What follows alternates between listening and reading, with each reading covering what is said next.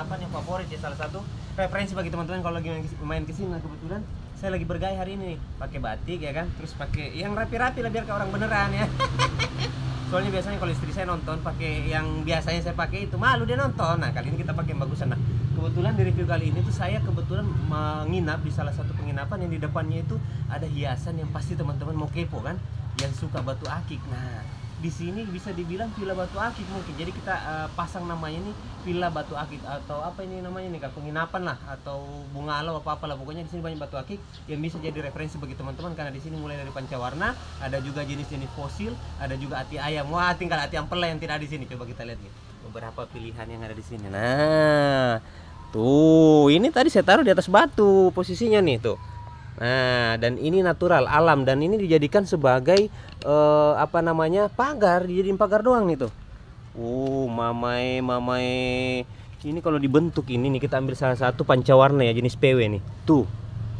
Wah, ini kalau saya pakai boot batu begini nih mertua lewat saya cuekin ini. Aih, mamai, mantep banget tuh.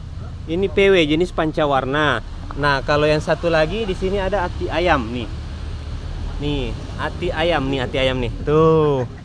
Wow, ini hati ayam nih. Huh. Coba itu.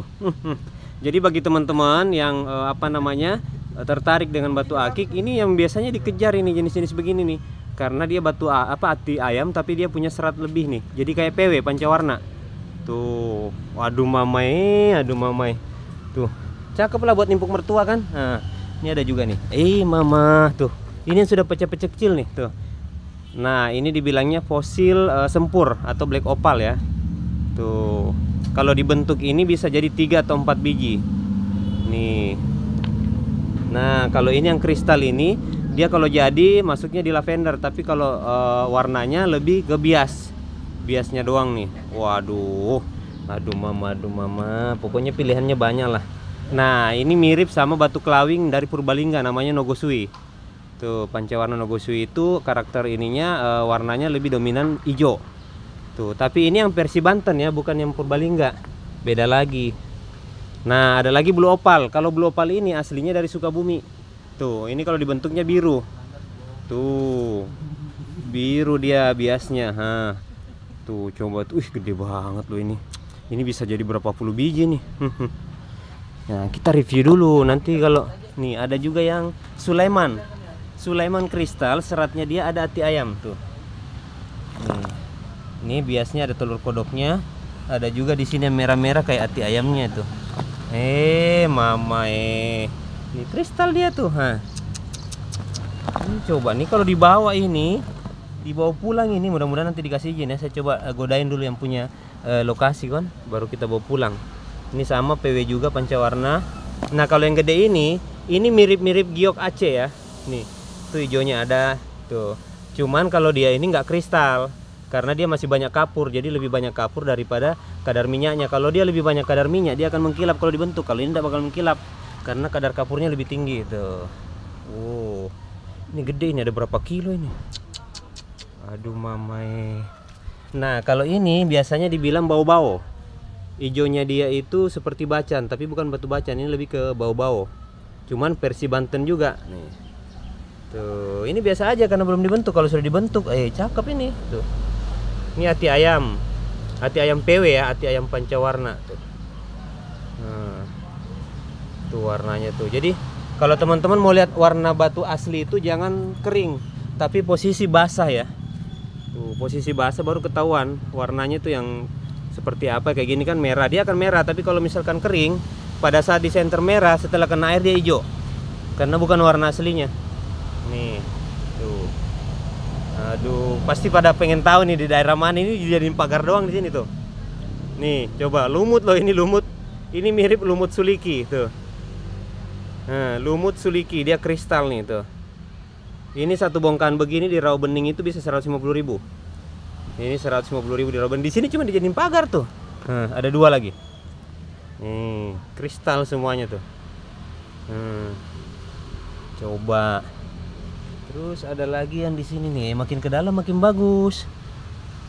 PW ini masuknya PW nih pancawarna nih. Nah, ini pancawarnanya dia ini hampir sama pancawarna Edong atau yang ada di Garut.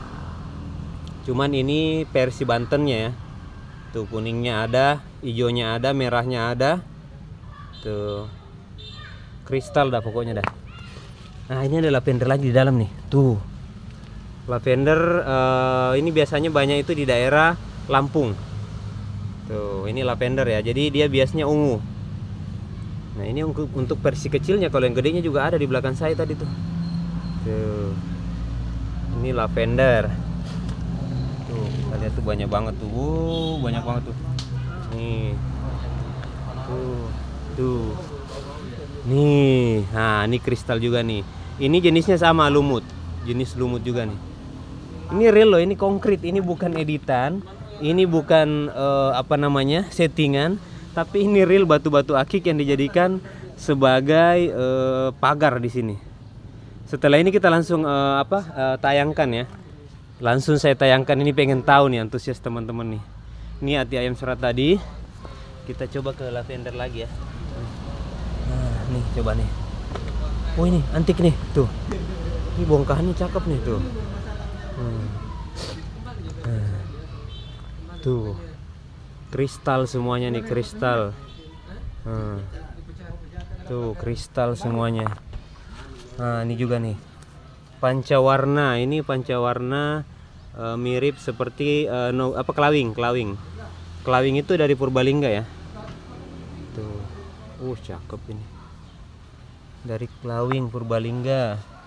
Ini lagi nih. Uh mamae mantap sekali ini mantap sekali. Ini juga nih fosilnya nih. Ah, ini bisa dijadikan biseki. Ini tidak usah dibentuk ini yang begini. Ini kan alam. Jadi mendingan begini aja nih tuh. Wah ini harus saya punya nih. Gimana caranya ya? Coba kita godain namanya yang punya tempat indikasi nggak nih? Cakep banget tuh. Uh bagus bagus sih batunya. Oh ini sudah tadi ya. Nah kita ke yang gede-gede lagi nih. Nih Tuh yang gede-gede nih. Ini bener-bener di depan depan villa nih tuh. Tuh. Eh ada orangnya tuh. ada orangnya. ada orangnya kita review. Jadi ini batu itu di sini cuma dijadikan sebagai pemanis aja tapi tidak diolah. Padahal kalau diolah, ah ini ada badar emas nih. Ini antara badar emas atau badar perak ya, nih. Serat peraknya ada. Tuh. Tuh natural ya nih. Ini agak silau ya ini nih naturalnya tuh natural. Ini ada lagi ini masih pecahan lavender nih. Pecahan lavender.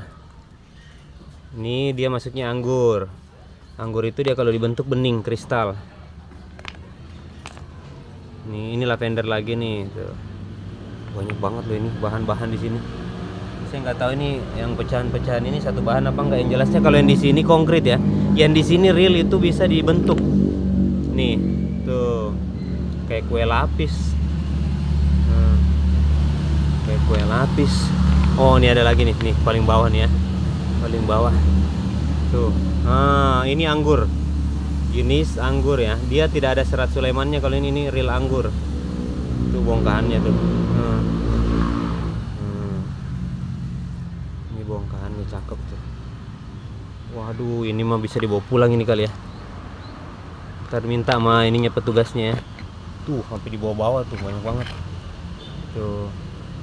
Jadi kita sengaja review ini biar teman-teman bisa tahu kualitas atau jenis batu akik yang ada di eh, apa namanya Banten ya. Tepatnya ini di Malimping.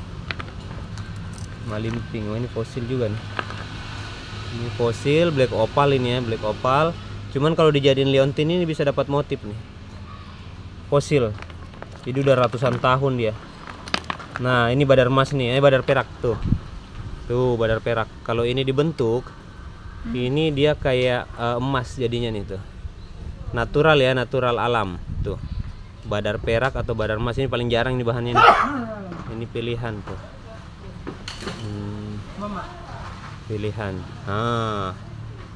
Cakep. Mantap. Wih, banyak banget nih. Ini sudah kita lihat semuanya kita rapikan dulu. Mm -mm. nih ini segini aja udah lumayan ini bisa dibentuk nih tuh. Hmm. jadi ini real ya ini bukan editan. Ini bukan editan.